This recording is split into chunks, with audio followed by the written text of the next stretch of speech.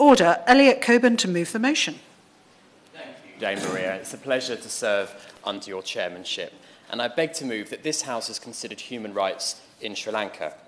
Now, Sri Lanka's 2009 conflict ended in a horrible, horrific bloodbath.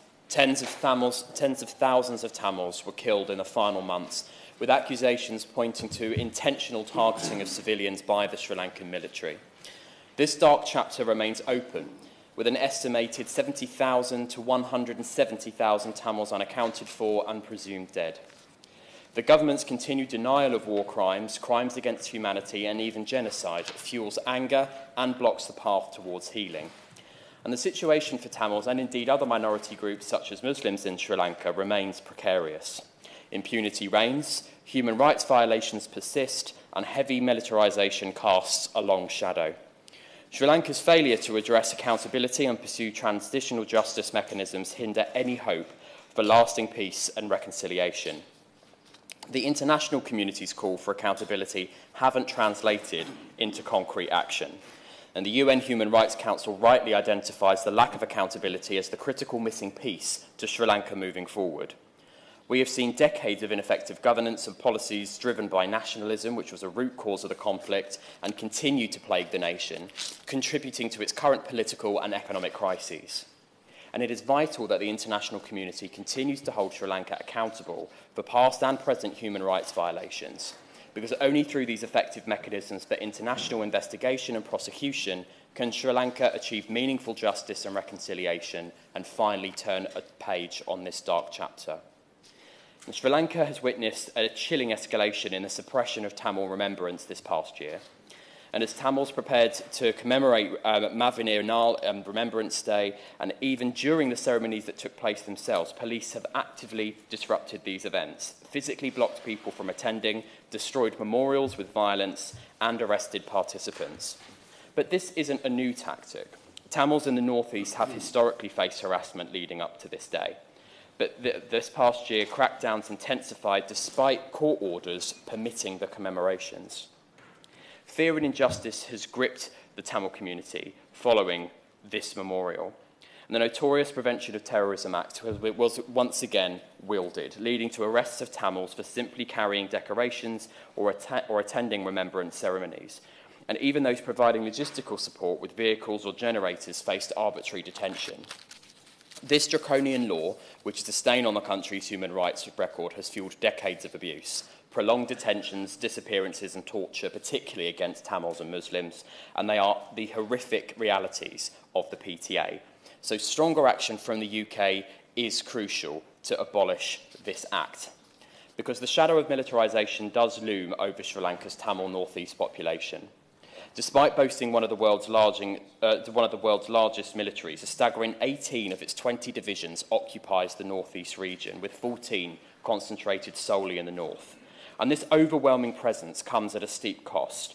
Sri Lanka spends more on its defence than it does on healthcare and education combined. Recent claims of de escalation and demilitarisation have not occurred, so concrete action is needed.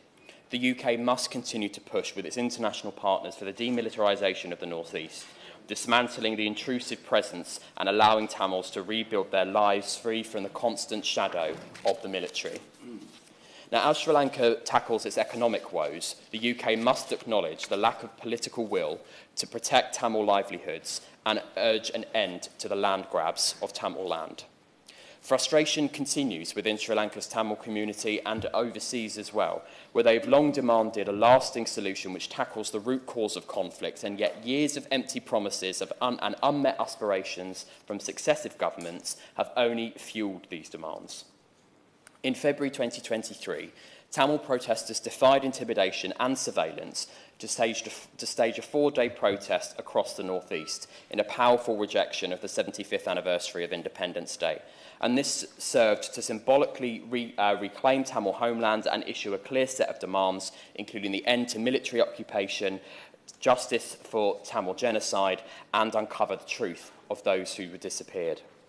Now, President Wickremesinghe pledged to solve the ethnic crisis and held talks with Tamil parties, but these efforts have proven uh, to be fruitless. The Tamil community awaits concrete action, not empty words. The country is clinging to a troubling legacy. Those accused of war crimes against Tamils continue to enjoy protection, some even receiving pardons and diplomatic postings. This blatant disregard for accountability exposes the shortcomings in the justice system and underscores the current administration's tolerance for impunity. There is a clear lack of political will to deliver justice for Tamil victims, evident even in high profile cases. The unresolved Trinco 5 killings, for example, highlighted by the UN Human Rights Council and during recent GSP Plus trade discussions, stand as a stark example. As the, UN, as the UN High Commissioner for Human Rights aptly noted, not a single emblematic case has resulted in conviction. Sri Lanka's path forward hinges on genuine commitment to accountability, a path that they have yet to take. No, I will gladly give way. I very much support uh, what my honourable friend has been saying. Um, and I use as a consequence the fact that settling this and getting the right human rights uh, uh, for those Tamils that are, suffer, and many have fled over here into many of our constituencies. But there's also a, another side to this. The, the, the need by the Sri Lankan government, therefore, as a result of not resolving this, to station so many army divisions and spend so much on the military. is one of the reasons why, in the Hambota port, port that the Chinese are able to get a 99-year lease having their ships there, and that means, therefore, because they're bankrupt. And that, therefore, has a very big impact on the UK's wider uh, views about the uh, Far East. Mm. My right honourable friend is absolutely right, and there is an increasing concern about Chinese influence on the island, and something which I know um, my right honourable friend is incredibly powerful, uh, powerful on when he makes his intervention. So I do hope that the government has listened there. Now, Sri Lanka does have a long history of truth commissions, in fact, over 15 since independence, but yet none of them have delivered meaningful, meaningful justice or accountability. The proposed Truth and Reconciliation Committee seems destined to follow the same path. The Tamil community remains deeply, deeply sceptical. They advocate for an independent international mechanism with the power to investigate and prosecute impartially the government, however, appears to view the TRC as a way to escape international scrutiny at the UN Human Rights Council. Truth telling is crucial for transitional justice, but it shouldn't come at the expense of, hold, uh, but it shouldn't come at the expense uh, of holding perpetrators accountable. The Sri Lankan government's past failures to deliver on these promises raises serious concerns. A genuine TRC should prioritise justice for victims, not serve as a tool for escaping international pressure. Now, Sri, Sri Lanka's commitment to the UN Human Rights Council process has crumbled.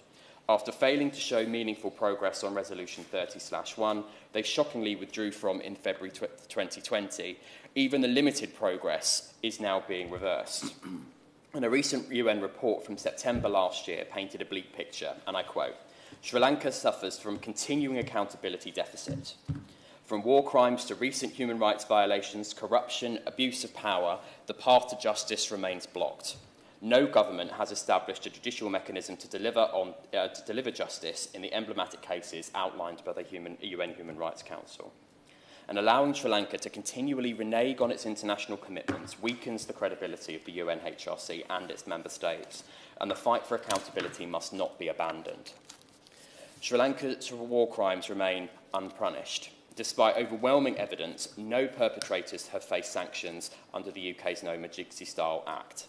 This inaction stands in stark contrast to Canada, who sanctioned the former presidents Rajapaksa for their war crime actions, and the US, which has sanctioned General Shavendra Silva, whose division still stands accused of horrific abuses. The UK must act. Holding war criminals accountable is essential for justice and a crucial step towards a more peaceful future. I believe that the UK's relationship with Sri Lanka does need critical review. Military cooperation must be suspended until Sri Lanka removes personnel implicated in human rights violations from its security forces. The UK, also, the UK should also refuse diplomatic um, access and diplomatic roles to anyone accused of such abuses. Trade deals and concessions require re-evaluation in, re in light of this failure to uphold human rights commitments, and sanctions are a potential tool to pressure reform. Furthermore, the UK should make all future bilateral and multilateral ties with Sri Lanka con on, contingent on concrete progress. This progress must address reconciliation between ethnic and religious groups, and Sri Lanka should investigate and prosecute war crimes and human rights violations, return stolen land, resolve disappearances, and reduce the military presence in former conflict zones. Ultimately, the island must demonstrate respect and uphold the rights and freedoms of all of its people, regardless of ethnicity or religion. Investigating and prosecuting human rights abuses is critical to achieving this. By linking its support to these vital changes, the UK can play a significant role in pushing Sri Lanka towards a more just and peaceful future. Sri Lanka's human rights record casts a long shadow, demanding a firm international response, and the UK, along with other nations, has a crucial role in holding the country accountable. Firstly, those accused of human rights crimes cannot escape unscathed. Targeted sanctions against officials can deliver a powerful message. Additionally, the principle of universal jurisdiction allows countries to pursue legal actions against perpetrators on their own soil, regardless of where the crimes were committed. The International Criminal Court offers another avenue for justice, where the UK can collaborate with civil society to submit communications to the ICC's prosecutor, urging a preliminary examination of potential crimes committed that fall under that court's jurisdiction. And furthermore, Sri Lanka's potential breaches of human rights treaties cannot be ignored. The ICJ can be a forum used to address these issues, specifically those of torture, enforced disappearance, and racial discrimination.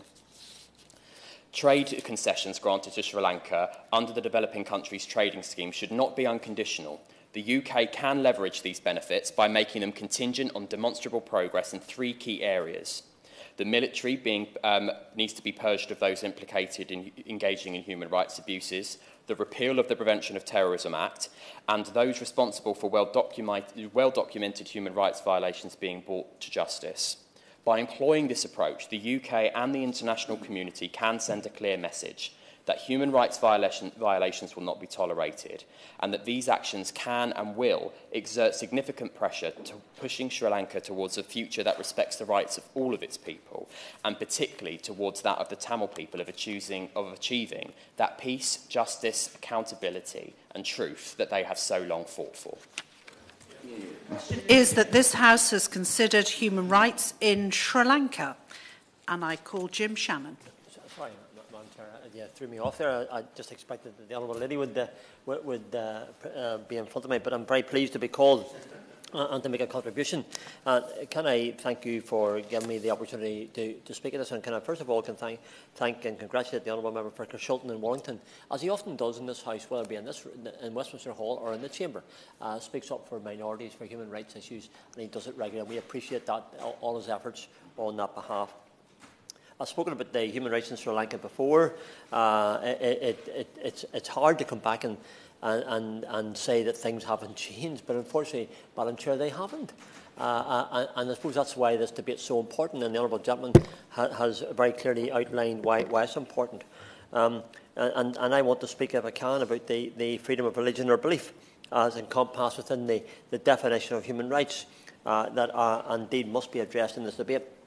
I'm very clear in my, in my, my uh, uh, impression of it, Madam Chair, and that's, uh, that's to do with uh, when, you, when you take away human rights, you affect your religious belief. When you take away your religious belief, you affect your human rights. The two of them are married together. You can never ignore them. Uh, so whenever you, you talk about one, you talk about the other. So I want to mention about that and, and some other issues as well. So the question for us today, uh, uh, dear Maria, is this. How can we address this? Or more reasonably, how can we be part of the process of securing human rights for a needy people. Uh, their history has been one that makes my heart sore, uh, dear Maria. It does for, I think, for any of us who, who have compassion and, and, and those who have had lost everything, uh, their dignity, uh, their possessions, uh, their human rights, uh, their freedom of religious belief, uh, and, and they all because of, of an autocratic regime that spends more, as Honourable Gentleman spends more in defence than it does in, in feeding their country whether it be even health or education. So it does move me uh, to tears when I think about it. I believe that steps can be made through the progress of having reconciliation, through accountability and justice. The acknowledgement and correction against religious minorities must be considered by our government and our minister. I'm pleased to see the minister in this place. I always am, because uh, I think the minister uh, clearly understands our feelings, uh, what we think, uh, and, and, indeed I'm hoping uh, when it comes to replying we will have some uh, assurance in relation to, to those issues. Because uh, our government develops the foreign policies also very pleased to see the Shadow Minister in our place uh, and the Shadow Minister for the Scots Nats as well. Um, he and I have been uh, uh, good friends in this house for many, many years. We speak on issues together. We, we've done uh, um, uh, different uh, uh, ventures overseas to, to visit some of those countries where, where suppression of human rights and religious freedom are rampant. so he and I uh, although we have different um, outlooks in the Constitution, have the very same opinion, Dame Maria, on this issue of human rights uh, and, and, and, our social conscience that we both have is one that is married together, uh, as indeed is our faith as well, uh, which we, we hold very, very, very, very strongly to. Sri Lankan government agencies unlawfully occupied property and religious sites of minority Tamil and Muslim communities. Additionally, in, just as an example again, Dame Maria, in September 2023, a judge resigned and fled the country after he received death threats for a ruling that he made against the Department of Archaeology, which had constructed a Buddhist monument on the site of a Hindu temple. Now, uh, uh as chair of the APPG for freedom of religious belief, I very clearly, Dame Maria, speak out for those with Christian belief, those with other beliefs, and indeed those with no beliefs, because that's what I believe in in my heart. Uh, uh, and, and, and, where I come from. So whenever I see uh, that a Hindu temple is disrespected and that a Buddhist temple is built on it, that's against the human rights and the religious belief of, of those of a Hindu faith in Sri Lanka. And that's all done because it's encouraged by a government who has little or no uh, concern or respect for any other religion. How do we address those issues? I'll, I'll hopefully can outline that in, in, in a way, but the major issue is when it comes to aid, we should be using aid uh, as a method to change the opinion of, of uh, um, uh, the, the, authorities in charge in, in Sri Lanka and make it, uh, make a change. As acknowledged in this uh, uh, debate, debate's brief, the Online Safety Act and, indeed other proposed and enacted laws by Sri Lanka severely limit civil liberties, and they quite clearly do. So how are these laws impact, impacting upon freedom of religion or belief? The right to freedoms of, of expression and assembly are heavily intertwined with the fate of four. By, I mentioned that at the beginning because I, I, I, can never get my, my, myself away from, from that definition of, of where we are and, and how I and many others in this chamber today and further afield see it. Uh, as such, we must ensure that our foreign policies, and that's where the Minister comes into play and our government comes into play, encourage compliance with Article 18 of the UDHR and the ICCPR which was ratified by Sri Lanka in 1980. Ratified by them, but never actually, no action taken, you know. So the disappointment I have uh, is that Sri Lanka's uh, government's action against those um, in relation to, to Article 18 uh, have, have been disregarded in the totality. For freedom of religious belief is also intricately linked with women and girls' rights. And I want to mention about that because some of the things that are happening in Sri Lanka are bestial. They are disgraceful. Uh, and, and I, I, will, I, will, mention the Muslim Marriage and Divorce Act, the MMDA, which governs marriage in the Muslim community, contains numerous provisions that violate, violate the rights of women and girls, including by allowing child marriage without setting any minimum age. I, I, I don't know, uh, dear Maria, but when I, when, I, when I think of that, I get really angst about it. Because I look at, uh, at, at, my grandchildren, uh, and, and, and if they were living in Sri Lanka, uh, they, they would be, they could be abused, they could be married at the age of 9 and 15, even though their bodies, quite clearly, or their, their emotions, are not in any way ready for anything that to happen. Now, how could I, as a father and a grandfather, um, not condemn very clearly what the Sri Lankan uh, uh, uh authorities are doing in relation to what they do against young women and, and, and especially against young girls? Um, the Act stipulates that only men can be judges in, in, the, in the Kazi family court, which makes it easier, as it always does, that only men can be judges, uh, and that men, uh, as if for men and for women, to obtain a divorce, and does not require a woman or a girl's consent to be recorded before the regis- registration of her marriage. That's a predic- uh, an absolute precondition. So, Minister, so whenever it comes to answering ever ever mindful, dear Maria, that the Minister isn't responsible for what's happening in Sri Lanka, I would ask the Minister, has there been any discussions uh, with the Sri Lankan authorities in relation to this specific issue to ensure that there will be no, no underage marriage whatsoever? And furthermore, uh, uh, to, to, follow on from that, the Penal Code permits uh, what would otherwise constitute statutory rape and cases of child marriage that are permitted under the M- MMDA. In, no, in no country in this world can the statutory rape of young girls who haven't reached puberty, who uh, can be abused by people uh, just because they've got the right to do it by the law of the land. So, and when it comes to the, to the uh, uh MMDA, the Divorce Act, what are we doing as a government? What are we doing as a minister? What are we doing uh, as, as a people of conscience uh, to help those, those young, young ladies in, in, in Sri Lanka? The UK must take laws into account as well as helping develop aid strategies and distribution policies for Sri Lanka. Additionally, the UK must consider the position of refugees in Sri Lanka as well. There's lots of refugees. There, I think the Honourable Gentleman for Carshalton and Wallington referred to uh, maybe it was 14 divisions in, in, in the north of Sri Lanka who are there primarily and objectively to, to uh, intimidate all of the, uh, of the Tamils and the local populations and local religions as well. I mean, I mean how can this uh, be, be nodded through uh, by, by, by or, or disregarded uh, by, by our own government or by our own people? Uh, several religious minorities in Sri Lanka, including Nick Matties, the Honourable Gentleman for Argyll Bute. He and I were in, in, in, in uh, Pakistan. Uh, we had an opportunity to, to see and meet the Ahmadis on, on a regular basis.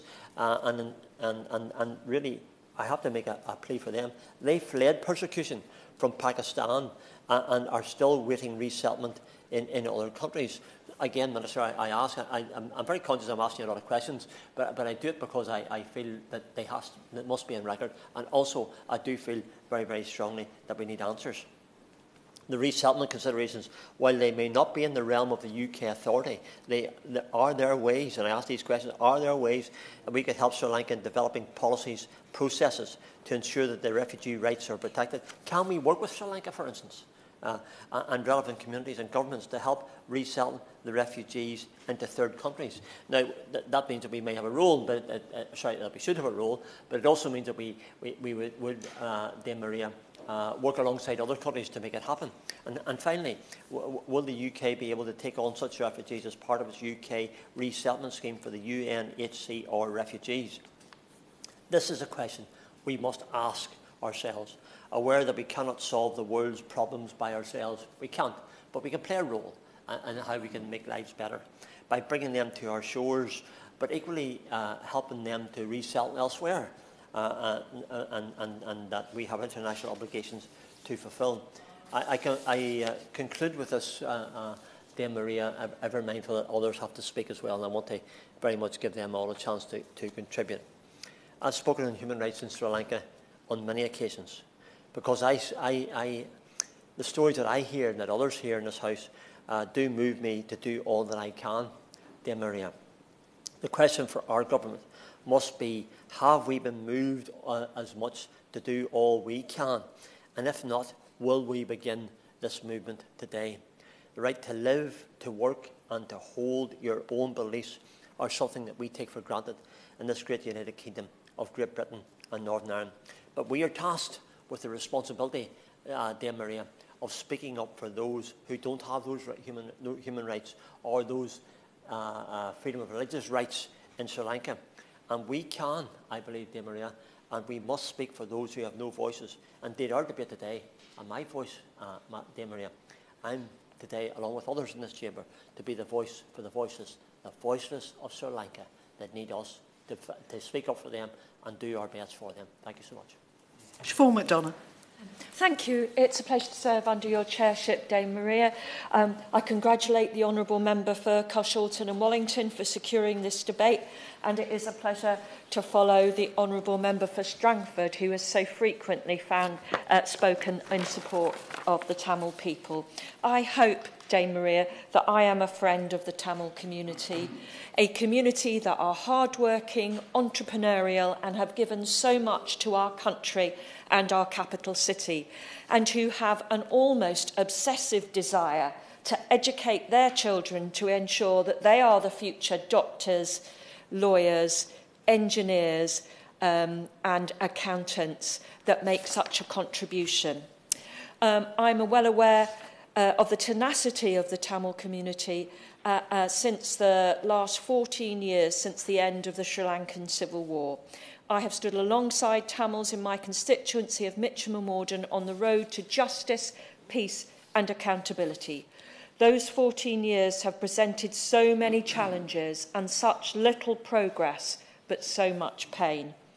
Not only have we co uh, called for accountability for the terrible war crimes committed 14 years ago, but we are calling for the end to the human rights abuses that are still being experienced by the Tamil community in Sri Lanka today. This starts with repealing the Sixth Amendment that continues to be a barrier to Tamil self-determination. The Sixth Amendment criminalises support in Sri Lanka uh, or abroad for the establishment of a separate state within the territory of Sri Lanka. Anyone who is convicted of violating the Sixth Amendment will face losing their passport and will not be able to sit for public exams or even qualify for a trade that requires a licence. It prevents Tamils at home and abroad from coming together to freely express their political aspirations. But it's not just the Sixth Amendment. We need to go further than that. The 13 Amendment stops elected members of provincial councils from using their powers and giving them instead to unelected governors controlled by the Sri Lankan president. That leaves Tamils powerless when the state takes ancient Tamil places of worship and converts them into Sinhala Buddhist temples. Tamils have nowhere to go. Back in the UK, I had hoped that at the last cabinet reshuffle we might get a foreign secretary that would take some action on Sri Lankan human rights. A foreign secretary who was more than warm words for British Tamils calling for justice. And what did we get? We got Baron Cameron of Chipping Norton, who has spent his, spent his time out of office being paid by a Chinese state enterprise to promote a commercial port in Sri Lanka promoting a Rajapaksa era mega infrastructure project?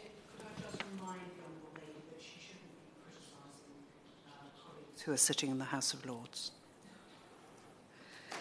Um, I make then, as a statement of fact, uh, Dame, uh, uh, Dame Maria, uh, that David Cameron worked on behalf of the Chinese state enterprise to promote a commercial port in Sri Lanka promoting a Rajapaksa-era mega infrastructure project.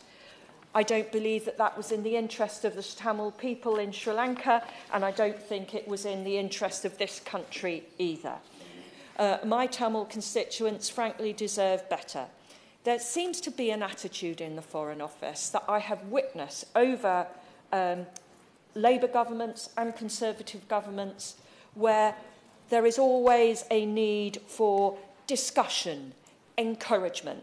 There is nothing I have seen in Sri Lanka over the last years since the civil war that has suggested that the, the Sri Lankan government will ever react to anything but force and determination rather than encouragement or negotiation. Hundreds of thousands of people have still not been found who disappeared during the Civil War, and not one person has been prosecuted for committing a war crime. There are, no, there are more answers than there have ever, there are questions than there have ever been. It is just, it does on occasion seem to me, just ticking a box and some mealy-mouthed diplomacy. Tamils deserve a UK government that will take the lead in calling for Sri Lanka to repeal the Sixth Amendment, giving Tamils in Sri Lanka and abroad the ability to come together and call for the political solution they hope for. Then we would have a government with a principled position on Sri Lanka. Um, Brendan O'Hara.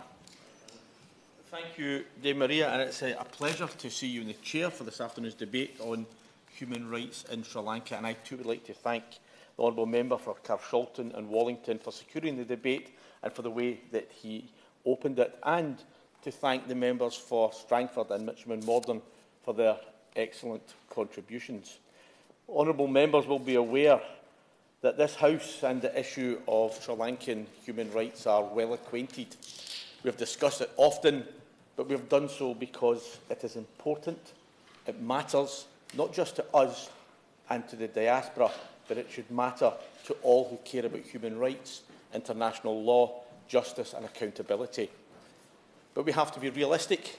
We've debated and highlighted these issues for decades in this place, yet the situation in Sri Lanka remains largely unchanged. And unfortunately, I suspect the community will say that they've heard it all before, because even a glance at Hansard this morning found 1975 Russell Johnson, the Liberal MP for Inverness, urging the government to do more to end human rights abuses in Sri Lanka.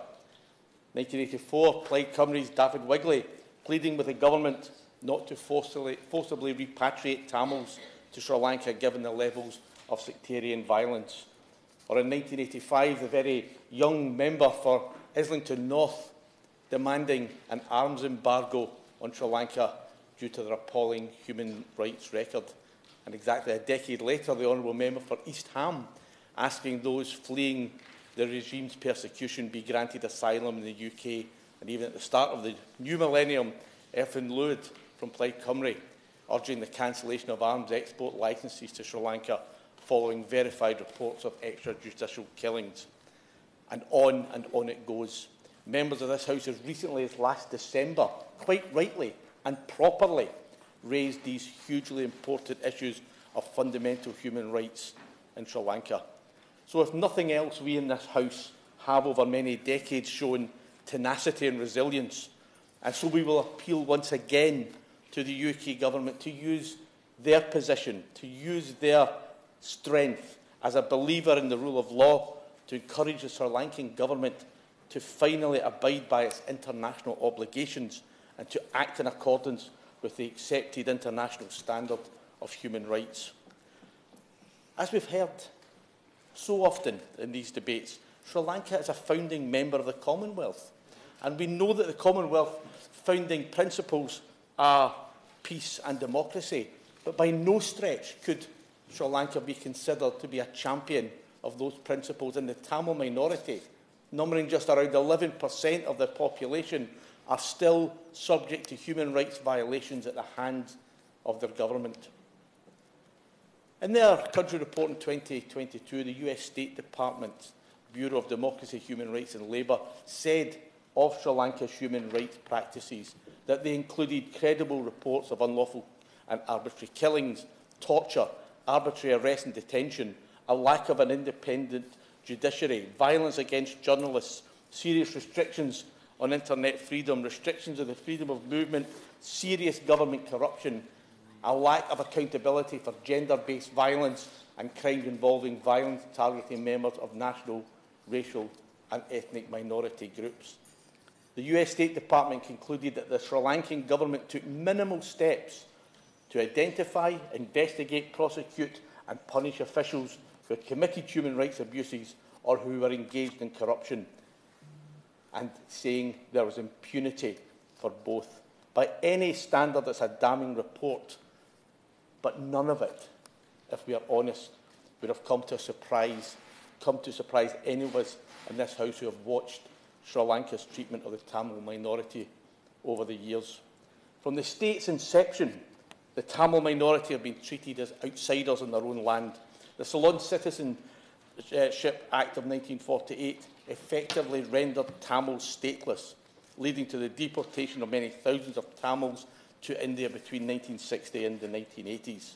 That was quickly followed by the 1956 Sinhala Only Act, which made Sinhalese the only official language of Sri Lanka, completely excluding Tamil and making it abundantly clear that for Sri Lanka's Tamils, they, their history, their language and their culture had no place in that new country. And given that level of state-sponsored discrimination, it's little wonder that there has been such appalling catalogue of violence and atrocity crime perpetrated on the Tamil people. Time and again, they have been the victim of oppression and systematic violence dating back to the 1950s. And it continues to the present day.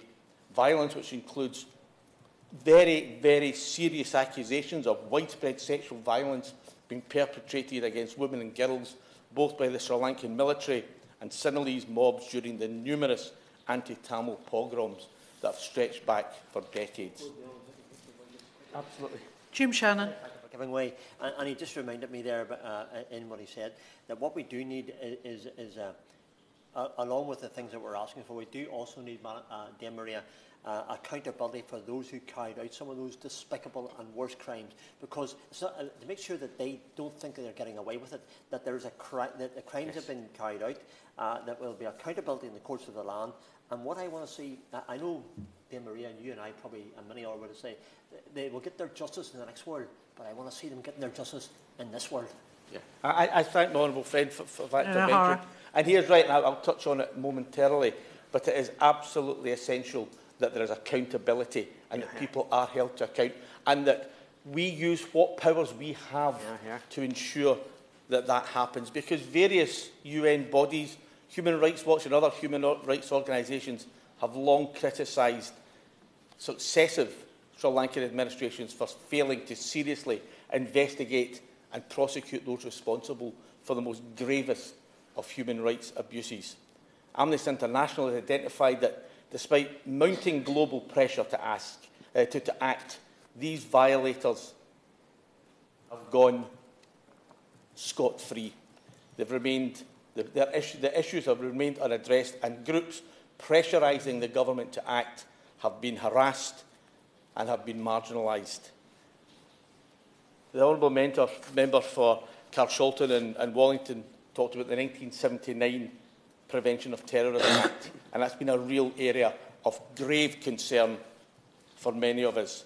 The Prevention of Terrorism Act has allowed arbitrary uh, arrests, detention without charge, false confession and torture of anyone suspected of terrorism.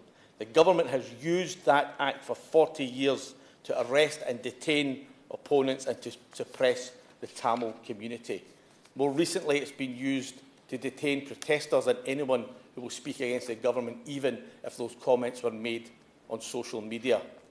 Now, however, there are real fears that its replacement, the anti-terrorism bill, may be actually worse and that the government's attitude towards minority groups has not changed one iota. The UN Office for the Commissioner for Human Rights has already stated that this new anti-terrorism bill doesn't go anywhere close to sorting out the defects in the Prevention of Terrorism Act, saying that it is deeply regrettable that the proposed legislation does not remedy any of the defects. And earlier this month, Human Rights Watch reported on the proposed new law, which they say will severely curtail civil liberties. New laws which include an Online Safety Act, Electronic Media and Broadcasting Authority Bill and a non-governmental organisation supervision and registration bill. These will grant broad powers to security forces and severely restrict their rights to freedom of assembly, association, expression, one which will impact not only the civic space but also the business environment. Dame Maria, Sri Lanka appears to be going backwards in terms of adherence to the principles that we hold dear of upholding and protecting fundamental human rights. And that, as the Honourable Member for Mitcham and Morden said, represents a collective failure by the international community. It says that we and our partners have not done nearly enough to pressurise the Sri Lankan government to change its behaviour. We have not thus far, I believe, used all options open to us. So isn't it time, Minister, that as well as us debating and discussing in this place and the FCDO persuading and pressurising in their place, that the UK actually flexes its muscles where it can and it applies targeted Magnitsky sanctions against those who can be identified as being active or complicit in human rights abuses. Other countries can do it, other countries have done it, and I believe it is the very least that the victims of this war, both living and dead, both here and in Sri Lanka, could and should expect from us. Thank you. you very much, and it's a pleasure to serve under your chairship. Uh, we've heard some really strong speeches today and interventions from members, not least uh, from the member for Carl Shulton and Wellington, and I congratulate him on bringing forward this really important debate. Uh, I thank the members who've contributed today, the member for Strangford, outlining the importance of the freedom of religious beliefs which is incredibly important, and the MP for Mitcham and Mordam, who spoke powerfully about the need to protect human rights in Sri Lanka, the need to protect the Tamil community. For the Labour Party, issues of human rights and international law will always be central to how we approach international affairs. And I'm grateful to have the opportunity to speak on this topic today. My colleague, the Shadow Minister for Asia and Pacific, the member for Hornsey and Wood Green, is currently travelling on parliamentary business, so she has asked me to speak in her place. There are many close ties between the UK and Sri Lanka and many living links between communities in both countries – Sri Lanka is a member of the Commonwealth and has been through a challenging period of economic crisis in the last few years. It's also one of the FCDO's 32 human rights priority countries, quite rightly, which is clear recognition of the serious ongoing human rights concerns there, including those rights of minority groups. The Labour Party believes that a central component of the UK's approach to Sri Lanka must be to support human, that support for human rights, for accountability, and, importantly, for reconciliation. Sri Lanka's long civil war has left deep, deep scars on the people of that country. And in the final months of that war, thousands of civilians, mainly from the Tamil community, lost their lives.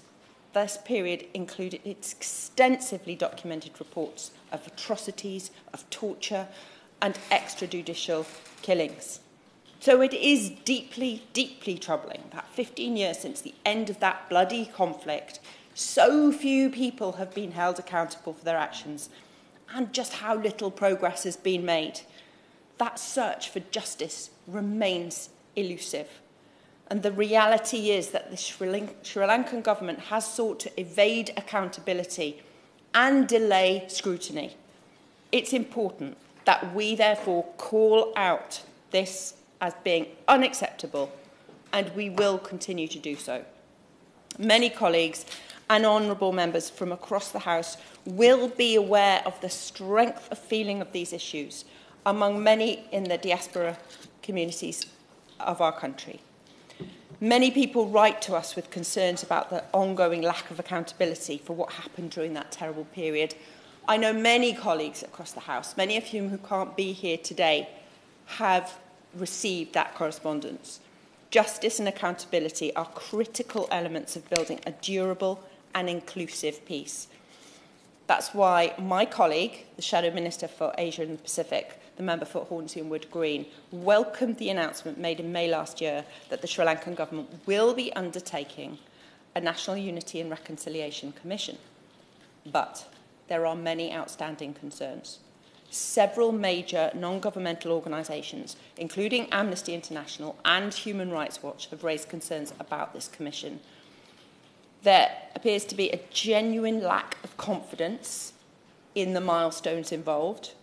Progress in transitional justice depends on the support of victims and their communities, and it needs to be properly resourced.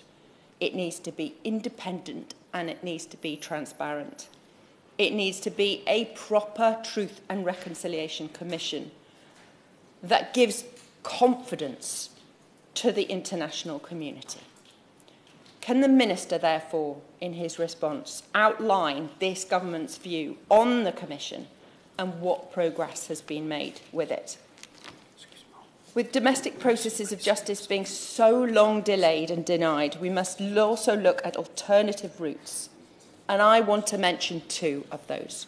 The first is whether the UK government is willing to consider human rights sanctions against those deemed responsible for grave human rights abuses during the Civil War. I'm sure the Minister might tell me he cannot commit, but can he acknowledge at least that key allies like the UK, of the UK, like the US and Canada, have already done this, including sanctions against General Silva. So, what is stopping us do, doing the same? Can he answer that today?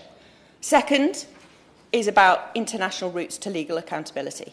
Can the Minister make it clear whether he believes, based on the evidence at internet, the International Criminal Court, that there is a case to be answered to prosecute international crimes committed during Sri Lanka's uh, civil war. Can he let us know if the UK government is supporting this process in any way? Tamil communities, as well as other minority communities, continue to face harassment, land seizures, and marginalisation, including against civil activists. Just last week, eight Tamil Hindu worshippers were arrested while engaging in festival rituals. They were detained for more than 10 days and allegedly su subject to abuse.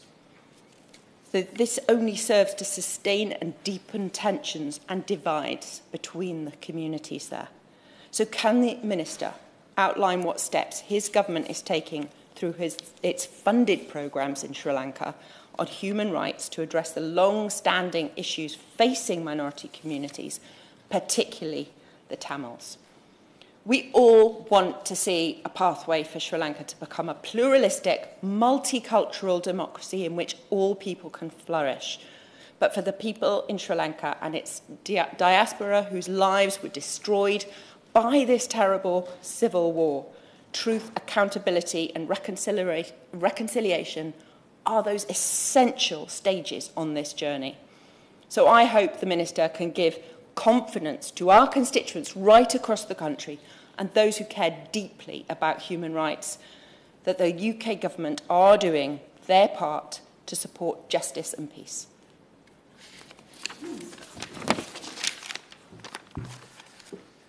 Um, Dame uh, Maria, I believe this is the first time we have joined in uh, such an endeavour during our time in the uh, House uh, together, and it is a huge privilege to uh, serve under uh, your chairmanship today.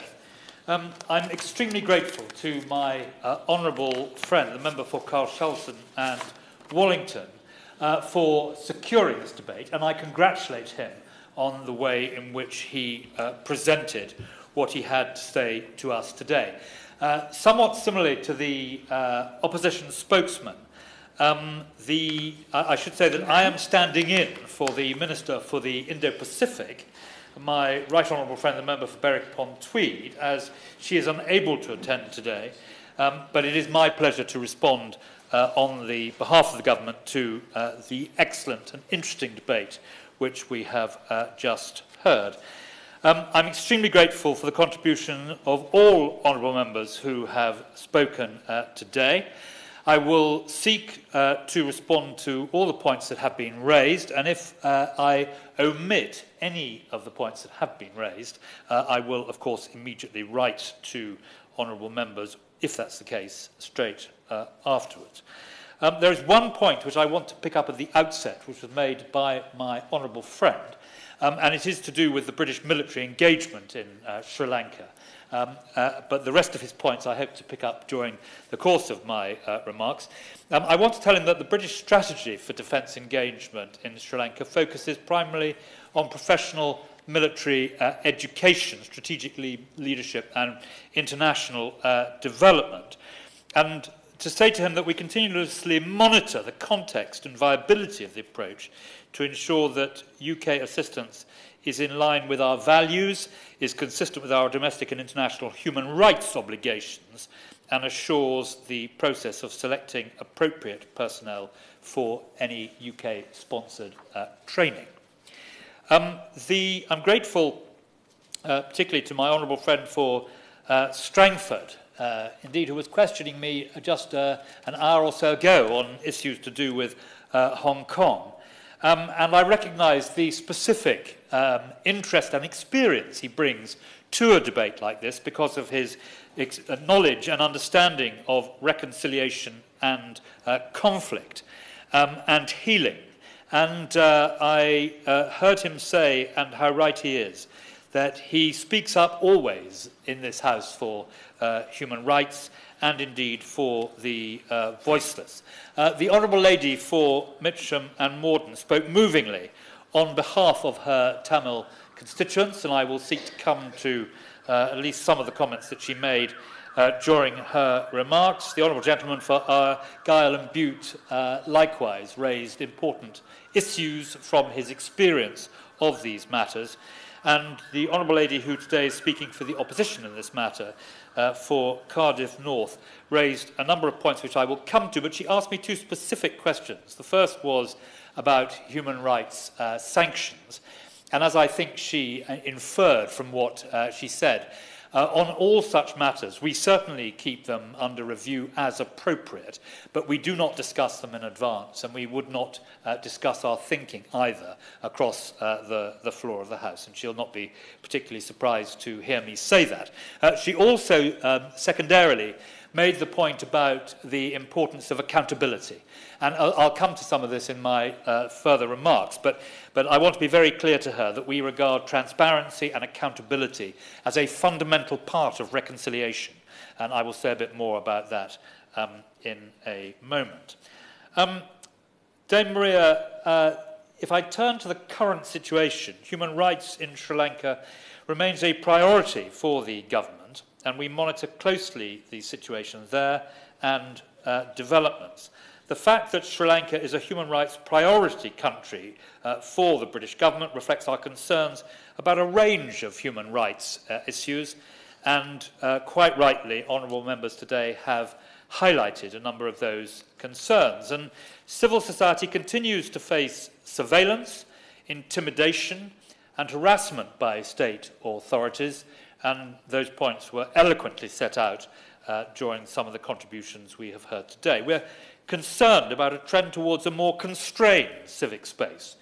This includes the use of laws to limit freedoms of expression and assembly, such as the misuse of the International Covenant on Civil and Political Rights or the Prevention of Terrorism Act, the PTA, which was referred to earlier. Britain continues to call for the replacement of the draconian PTA with legislation that is consistent with Sri Lanka's international obligations and to uphold a moratorium on the use of the provisions of the PTA. Uh, we're also concerned about the Online Safety Act. Recently passed, it has the potential to restrict severely online communication and could potentially criminalise many forms of expressions. And Dame Maria proposals to strengthen the regulation of NGOs and of broadcast media raises fears of efforts to restrict civic space. Yes, I will. Um, giving way. On the point about the online space, that is encroaching indeed internationally. In fact, here in the United Kingdom, the Tamil Guardian and other Tamil um, publications have faced uh, deplatforming from places like Meta, Facebook, Instagram, for example, from complaints made elsewhere in the world under the auspices of this PTA and other bits of legislation. So can he um, perhaps take away how we can protect the freedoms of Tamils to express themselves freely online when they are outside of the, geogra of the geographical space of the island? Yes, I will, I will certainly uh, take uh, that away as he requests, um, and I hope that some of what I will have to say will assist in um, addressing that particular point. We want to encourage the Sri Lankan government to hold comprehensive consultations with stakeholders and enact amendments to align legislation with Sri Lanka's human rights obligations. Now, as this House acknowledged in a debate, I think in December, uh, Dame uh, Maria, a number of different communities, including Tamils and Muslims, face marginalisation by state authorities. There have been increasing tensions around land, which has sometimes centered around religious sites, such as the most recent incident at a Hindu temple in Vavuniya. These actions and incidents have troubling implications for freedom of religion or belief. There have been reports of state sponsored settlement of traditional pasture land in Batticaloa, which threatens the livelihoods of local farmers. These events have increased the risk of communal tensions and stoked perceptions of forced displacement from traditional Tamil areas in the north and east of Sri Lanka. There have been several incidents, Dame Maria, of heavy handed policing of peaceful protests and commemorations. And the ongoing special police operation, which is ostensibly aimed at combating drug trafficking, has raised serious concerns over arbitrary arrests, seizures of property, and ill treatment in detention. Now, if I turn to what Britain specifically is seeking uh, to do, and that is promoting human rights, reconciliation, and justice and accountability. These are key strands of the UK government's policy towards Sri Lanka. Now, my right honourable friend, the Minister of State for the Indo-Pacific, raises our concerns about the human rights situation in Sri Lanka on a regular basis. When she visited Sri Lanka in October, she raised concerns with the President, the Foreign Minister, and the Justice Minister. She again saw the Sri Lankan Justice Minister while he was in Britain last week. And when in Sri Lanka, my right honourable friend uh, met the governor of the northern uh, province, Tamil representatives, and members of civil society. She raised the need for progress on human rights for all communities in Sri Lanka and the need for justice and accountability for violations and abuses committed during and following the armed conflict. The British government has an £11 million programme that supports human rights and reconciliation in Sri Lanka. We have specific projects and programmes that help tackle the legacy of the conflict, support civil society and democratic processes, promote gender equality, and reduce inter-community tensions. And we have been a leading member, Dame Maria, of the core group of countries in the United Nations Human Rights Council who work to improve human rights, justice, and accountability throughout Sri Lanka. And we have worked within the UN human rights system to raise concerns and build international support to strengthen human rights. We used our statement to the UN Human Rights Council on the 4th of March to raise our concern on recent legislative developments relating to human rights, reconciliation, and civic space. Our statement urged the Government of Sri Lanka to ensure meaningful consultation on the proposed Commission for Truth, Unity and Reconciliation. And Britain has stressed the importance, as I mentioned in my early remarks to the Honourable Lady, of transparency, accountability and inclusivity in any process and of building meaningfully on past work and recommendations that address the root causes – of conflicts and impunity. The British delegation in the UN Human Rights Council led work on the most recent resolution on Sri Lanka. We remain ready to support Sri Lanka in addressing the UK uh, penned resolution 51 stroke 1. In the resolution, we focused international attention on the human rights situation and shortcomings. We succeeded in renewing the mandate of UN human rights experts to report on these issues and to preserve evidence of abuses and violations turns specifically to the point that the Honourable Lady made, committing during the armed conflict so that justice can be pursued. We call upon the government of Sri Lanka to engage constructively with all UN human rights initiatives and to take up the offers of the support available uh, to them. There are, Dame Maria, some positive signs. We welcome steps taken by the Sri Lankan government to address some of the community grievances and civil society and international community concerns. The release of some disputed lands is a helpful step, as is the release of some long-term PTA detainees. We welcome the government's initial steps to engage with representatives of the Tamil community on a long sought-after political settlement. And we have urged the government to consider further confidence-building measures and engagement. And we welcome steps taken by the government of Sri Lanka to improve connectivity between the north and countries in the region, including through regular flights. This should help increase economic opportunities for Tamils and others in these communities. Now, Dame Maria, if I, if I may conclude on this note, Britain uh, monitors human rights developments in Sri Lanka closely. We welcome the ongoing attentions and contributions of honourable and right honourable members and the spotlight it brings to this issue. We are concerned by the ongoing land disputes, the continued harassment and surveillance of civil society, and limitations on freedoms of expression, assembly, and association, including through recent and proposed legislation. We will continue to urge the Sri Lankan government to adhere to its human rights obligations and fulfil its commitments on transitional justice, legislative reform, and taking steps to build trust in its institutions. Our projects and programmes in Sri Lanka will continue to target the drivers of conflict and support improvements in human rights. Ministers and officials will continue to engage with the government and wider society on human rights and transitional uh, justice. And we will remain, Dame Maria, a leading voice on the international stage, working with civil society and through the United Nations to deliver meaningful human rights improvements for the Tamils and all the people of Sri Lanka. Elliot Colburn to wind up.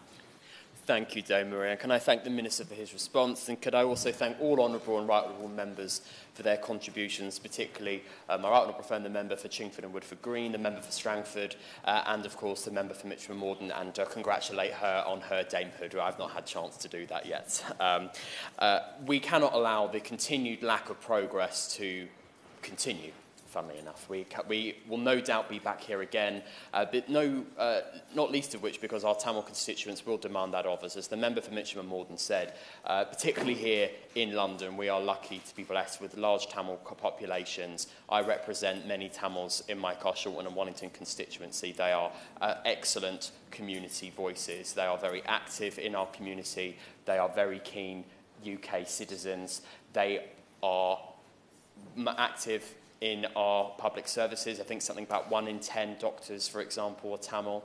Uh, it was a Tamil who was on the team of doctors that came up with that first uh, COVID vaccine at Oxford. So we thank the Tamil population for their contribution to us in the UK and recommit ourselves to doing all we can for them to secure that peace, justice and accountability. And the question is that this House has considered human rights in Sri Lanka.